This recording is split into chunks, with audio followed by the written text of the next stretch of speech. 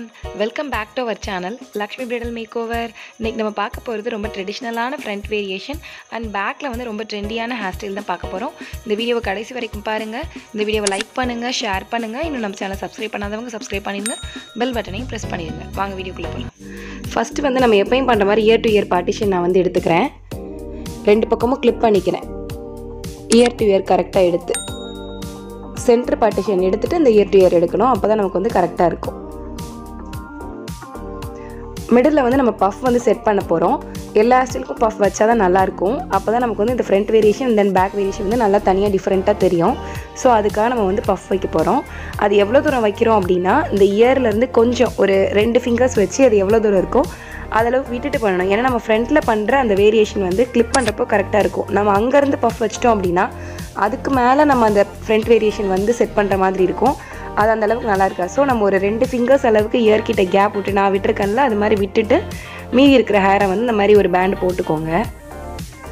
இந்த இடத்துல நம்மளோட பஃப் வரப்போகுது. அந்த பஃப் நான் எப்படி வைக்க போகிறேன் அப்படின்னு பார்த்தீங்கன்னா ஸ்ப்ரே பண்ணி தான் வைக்கணும். ஃபஸ்ட்டு வந்து மிடில் இருக்கிற ஒரு பார்ட் எடுத்து நான் பேக்கும் பண்ணிக்கிறேன். பேக்கும் நல்லா பண்ணால் தான் பஃப் வந்து நல்லா நிற்கும். ஸ்ப்ரே பண்ணிக்கோங்க பேக்கும் பண்ணிவிட்டு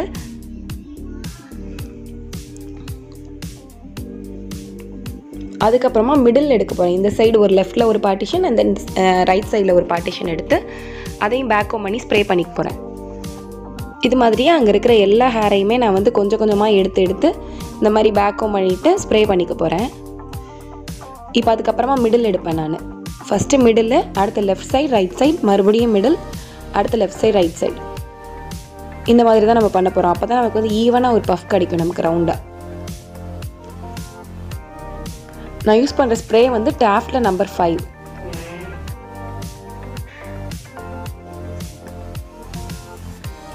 இது மாதிரி நம்ம பஃபுக்குன்னு விட்டுருக்க ஹேர் எல்லாத்தையுமே பேக் ஹோம் பண்ணி கரெக்டாக அரேஞ்ச் பண்ணிக்கோங்க.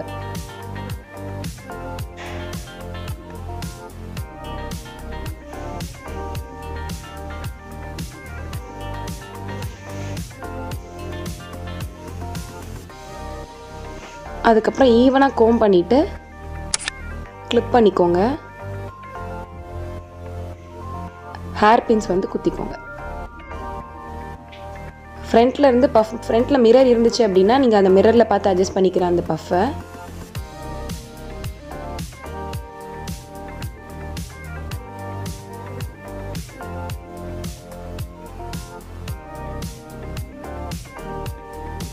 இந்த மாதிரி நம்ம வந்து கே இந்த மாதிரி ஒரு கிளிப் பண்ணிவிட்டு நம்ம பண்ணோம் அப்படின்னா நமக்கு ஈஸியாக இருக்கும்.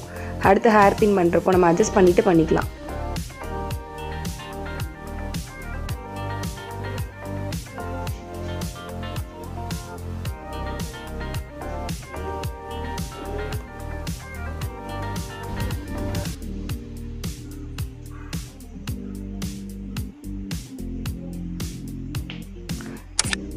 ஈவனாக கோம் பண்ணிக்கோங்க ரிமைனிங் ஹேர்லாம்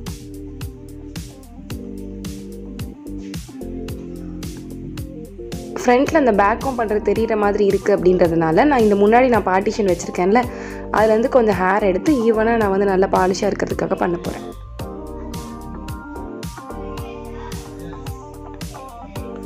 அப்போனா நமக்கு ஈவனாக நல்லா ஹேர் பின் பண்ணிட்டோன்னா கரெக்டாக இருக்கும்.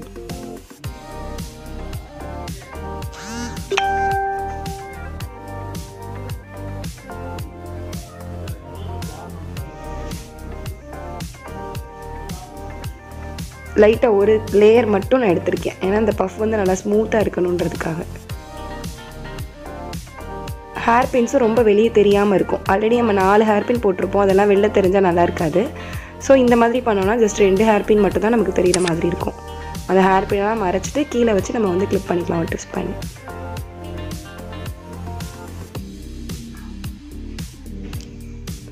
இப்போ நமக்கு ஈவனான பஃப் வந்துருச்சு. இதுக்கப்புறம் ஃப்ரண்ட் வேரியேஷன் நம்ம பண்ண போகிறோம் இப்போ ஃப்ரண்ட் வேரியேஷன் வந்து ட்ரெடிஷ்னலாக நம்ம பண்ண போகிறோம் அதில் வந்து சென்டர் பார்ட்டிஷன் நான் எடுத்திருக்கேன். ஃபஸ்ட்டு நம்ம எப்படி பண்ணுறோன்னா இயர் கிட்ட இருக்கிற ஒரு பார்ட்டிஷன் சிங்கிள் சிங்கிள் லேயராக எடுத்து நம்ம பேக்கும் பண்ணிக்க போகிறோம் பேக்கும் பண்ணி நல்லா ஸ்ப்ரே பண்ணிக்கோங்க. ஒவ்வொரு லேயராக எடுங்க கிராஸாக அப்போ தான் வந்து பஃப் நல்லா நிற்கும் இந்த மாதிரி ஒவ்வொரு லேயராக எடுத்து பேக்கும் பண்ணி ஸ்ப்ரே பண்ணிக்கோங்க. கீழேருந்து பண்ணுங்கள் காது கிட்டேருந்து கொஞ்சம் கொஞ்சம் லேயராக எடுத்து எடுத்து பண்ணுங்கள்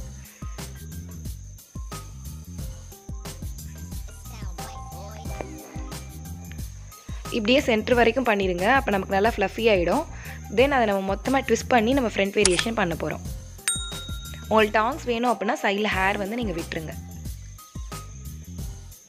பேக்கும் நல்லா பண்ணிடுங்க. அப்போ தான் செட் ஆகும். நிற்கும் ஹேர் ஸ்ப்ரே பண்ணலாம்.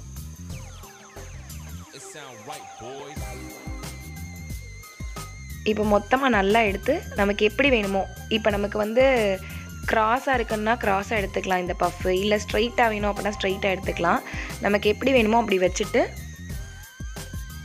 கோம் வச்சு நல்லா எடுத்து விட்டுட்டு ஸ்ப்ரே பண்ணிட்டு நம்ம கிளிப் பண்ணிக்க போகிறோம் எவ்வளோ வேணுமோ அவ்வளோ பஃப் வச்சுக்கலாம் நம்ம. பின்னாடி ஹேர் பின் பண்ணிட்டோம். இதே மாதிரி இன்னொரு பக்கமும் நம்ம காதுக்கிட்டேருந்து கொஞ்சம் கொஞ்சம் லேயராக ஹேர் எடுத்து நம்ம பண்ண போகிறோம்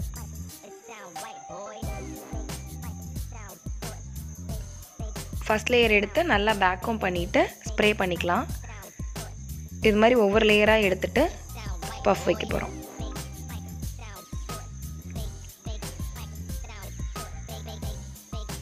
ரெண்டு பக்கமும் ஈவனாக இருக்கான்னு நல்லா செக் பண்ணிக்கோங்க ஃப்ரண்ட்டில் மிரர் வச்சு.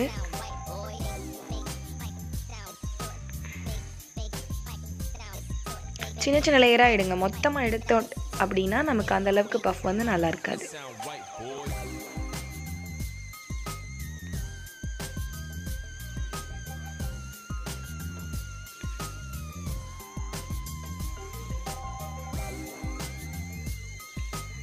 நல்லா மொத்தமாக இழுத்து ரெண்டு பக்கம் ஈவனாக வச்சு நான் பின்னாடி ஹேர் பின் பண்ணுறேன்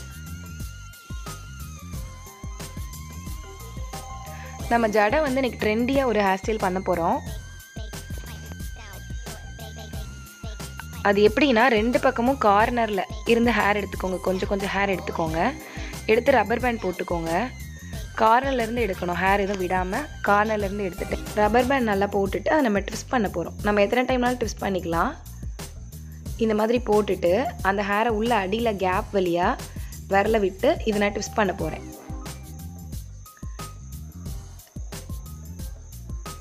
ட்விஸ்ட் பண்ணிவிட்டு நல்லா இறுக்கமாக ரப்பர் பேண்டை போட்டு நான் கைட்டே புல் பண்ண போகிறேன் சைடில் இது ஃபஸ்ட்டு ஸ்ட்ராண்ட் இதே மாதிரி செகண்ட் அதே மாதிரி கார்னர்லேருந்து எடுத்து இன்னொருக்கு ரப்பர் பேண்ட் போட்டுட்டு அதே மாதிரி ட்விஸ்ட் பண்ணிவிட்டு நம்ம கையை வச்சு புல் பண்ண போகிறோம் இப்படியே ஒவ்வொன்றா புல் பண்ணி புல் பண்ணி நம்ம ஒவ்வொரு லேயர் ஆஃப் ஹேரை வந்து நம்ம பண்ண போகிறோம்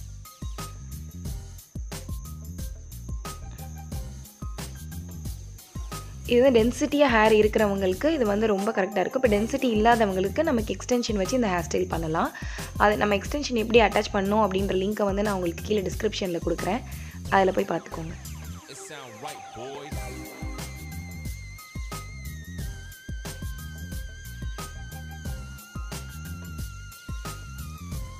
கொஞ்சம் கொஞ்சமாக புல் பண்ணுங்கள் இந்த ஹேர் ஸ்டைல் ரொம்பவே அழகாக இருக்கும் ரொம்ப ட்ரெண்டியாக இருக்கும். கொஞ்சம் மெஸ்ஸியாகவும் இருக்கும். கீழே வர இதே மாதிரி பண்ணிவிடுங்க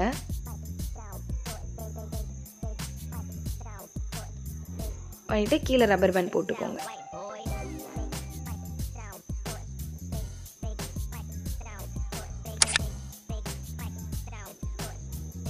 இந்த ஹேர் ஸ்டைல் ரொம்ப ஈஸியாக சீக்கிரமாக பண்ணிடலாம்.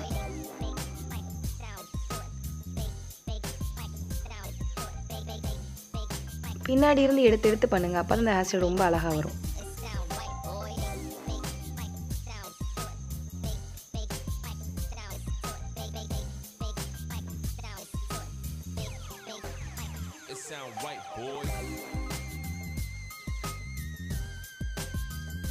இந்த ஹேர் ஸ்டைல் ரிசப்ஷனுக்கு அண்ட் தென் பிரைட்ஸ் மெய்டு என்கேஜ்மெண்ட்க்கு இது எல்லாத்துக்குமே நல்லா சூட் ஆகும். லெஹங்காக்கு அண்ட் தென் நம்ம இப்போ சாரீ முந்தின நாள் டிஃப்ரெண்ட்டாக நம்ம வேர் பண்ணுறோம் லெஹங்கா ஸ்டைலில் அந்த மாதிரினா நல்லா சூட் ஆகும்.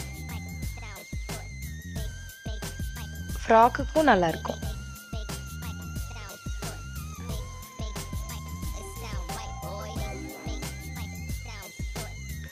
கடைசி மொத்தமாக சேர்த்து ரப்பர் பேண்ட் போட்டுருங்க.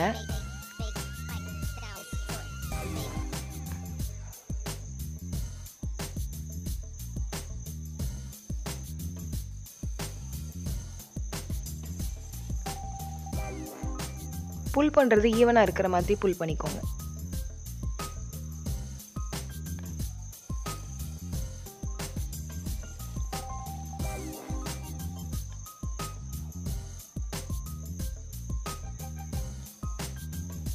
உங்களுக்கு ஹேர் ஸ்டைல் அண்ட் மேக்கப்பில் ஏதாவது டவுட்ஸ் இருந்துச்சு அப்படின்னா கமெண்ட் பாக்ஸில் கமெண்ட் பண்ணுங்கள் நான் உங்களுக்கு அடுத்த வீடியோவில் எக்ஸ்பிளைன் பண்ணுறேன்